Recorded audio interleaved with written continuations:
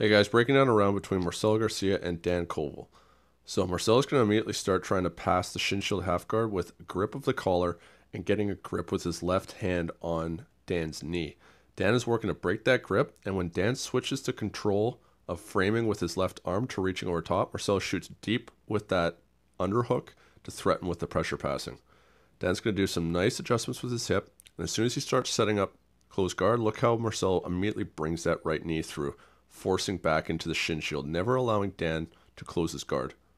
So within this battle again, Marcel works to get the collar grip and a grip on the pants so that he can step over the legs and does an awesome reversal here that we're going to break down. We're going to see this pass again later in the round from a better angle, but once Marcelo has gotten past Dan's legs, Dan's framing with his right arm against Marcelo's left hip. What he's looking to do is rotate Marcelo backwards so that Marcelo would actually fall to the dead angle and collapse over top of his shoulder. But as this is happening, and as, as Marcelo's leg becomes light, Marcelo bases with his head and his right shoulder to switch his hips, and he's going to drop his right hip now into the side of Dan's arm. And that's going to collapse the frame, redirecting it into a lever and allow him to stay on top. Now, from this reverse side control, we're going to see Marcelo wrap his right arm around Dan's head, and he's going to be setting up the north south choke. So he walks his hips over top, now he's going to walk his hips back, sprawling out, so that he's able to use his bicep to occlude the artery on the right side of Dan's neck.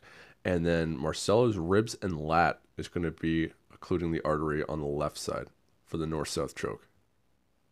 So, next, what's going to take place is Marcelo is going to hit one of his reverse arm bars, but he's going to do it on the opposite arm that he usually does, in the sense that Dan's going to post with his right arm to defend the sweep, and Marcelo is actually going to attack the left arm. So there's a moment of weakness in Dan's structure, and Marcelo capitalized with that reverse armbar. So Marcelo is going to elevate with the right butterfly hook. Dan's going to post with his right leg, and we can see how his arm is framing on the inside of Marcelo's armpit. Now watch how that arm extends out. As Marcelo detaches, he scoops it.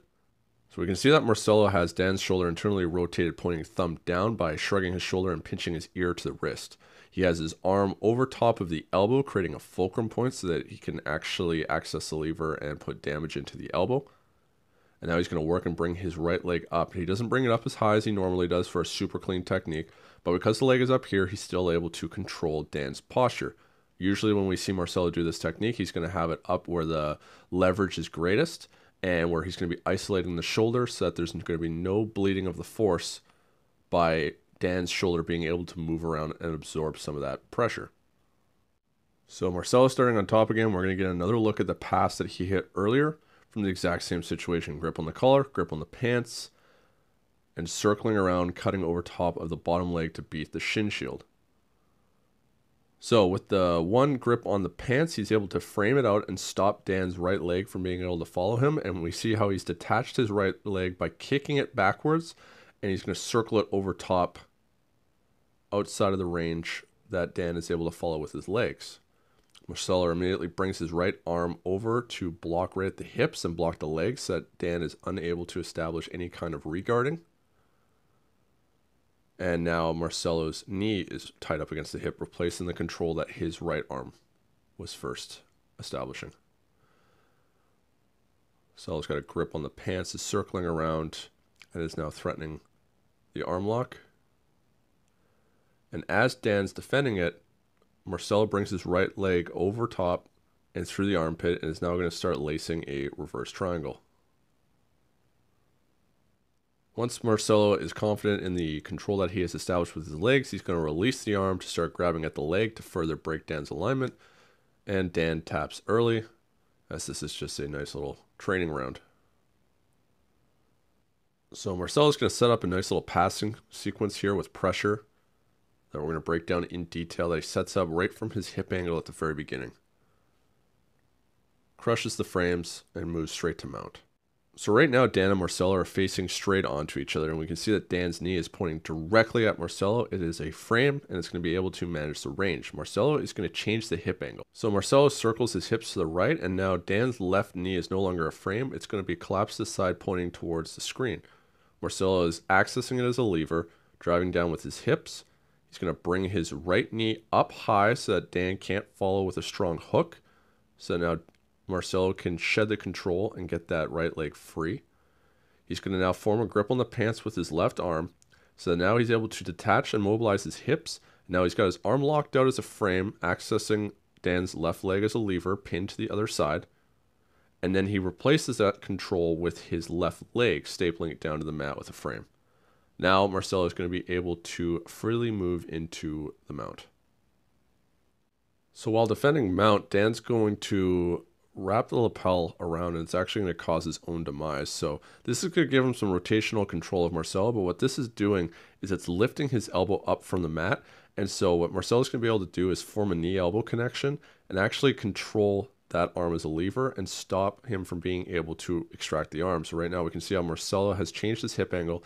He's connected the knee and elbow so it's stuck and he's framing down on Dan's bicep with his left arm.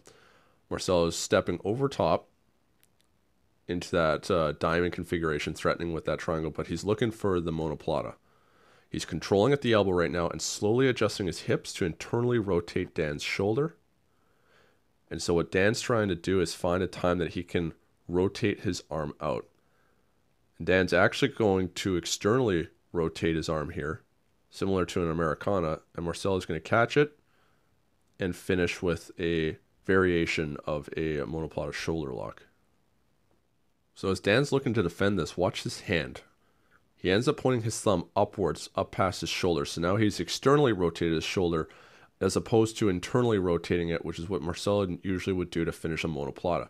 Marcelo immediately capitalizes on this and drops his armpit to access the end of the lever, while he can now start moving his hips up so that he pushes the wrist down, pushes the elbow up, to finish it exactly the same as you would think of the rotation in the shoulder with a Americana or key lock. Now for the first time, Marcelo is going to be playing guard. As Dan is going to aggressively start attempting his passing. As soon as Marcelo goes for that reverse armbar, Dan does an excellent job of mobilizing his hips and taking away that angle and using it to get to at least half guard. Now he's working to control Marcelo's hips while he works to extract that right leg. Marcelo's going to do a nice little base disruption there just to affect Dan's alignment so that he's able to recompose his guard. Something that Marcelo is so good at doing, always affecting his opponent's base so that they can't be effective. So once again, Dan has moved into the half guard, but now on the opposite side. Dan's working to isolate that arm. And while he's doing that, Marcelo attempts a Shaolin sweep, and we end up into a different position with the triangle.